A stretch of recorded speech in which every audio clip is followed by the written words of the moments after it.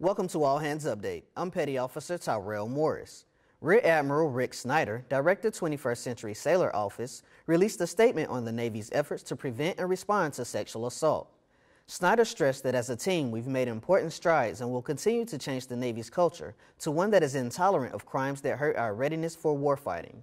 In the last year, the Navy has increased its capacity to respond to sexual assault, with more than 5,000 collateral duty victim advocates supporting our shipmates.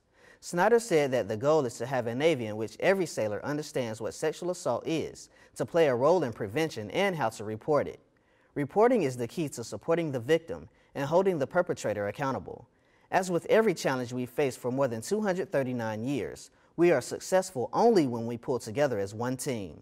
We need every voice and every sailor's effort to help prevent sexual assault in our Navy.